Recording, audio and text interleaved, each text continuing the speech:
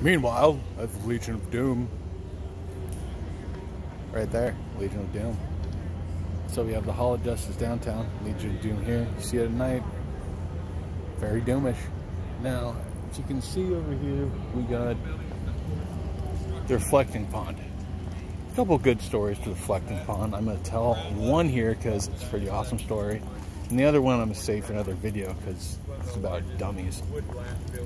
So, when my mom and dad first got Slick, they showed up here, brought Slick. Slick's a puppy. Slick.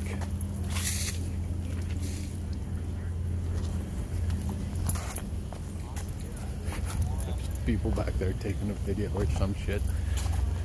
Excuse my French. And they're hanging out.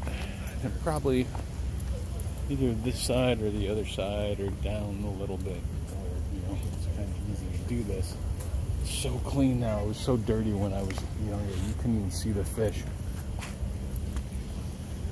Slick just kind of runs out onto the pond and falls in. That's the end of that story. Uh, koi and also little turtles in it. And you can see all kinds of junk in there like where the lily pads would be attached down over here. I don't know if you can see that. Whatever.